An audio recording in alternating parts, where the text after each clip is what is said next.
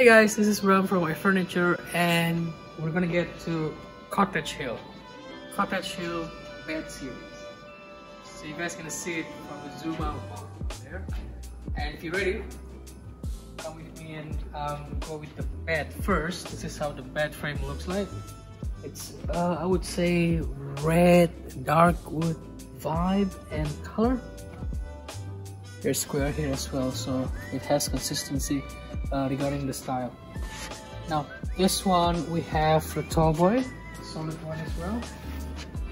You can see we have one, two small ones, and then one, two, three, four white ones. So it totally makes um, six. See for yourself, it's easy to pull out and pull in. pull push, all good. Is the wider, wider um, compartment, and this this applies to uh, the next three as well, same sizes. Now this is the dresser.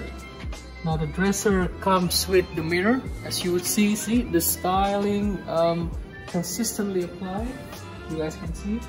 Now this is the size of the dresser, right? We have one, two, three, four, five, six. Sorry for being a bit cramped, but all the sizes, you know, the same.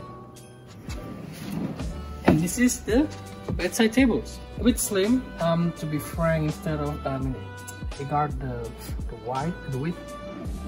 But when you open it, it's quite spacious. And we have three of those. One, two, and then last one.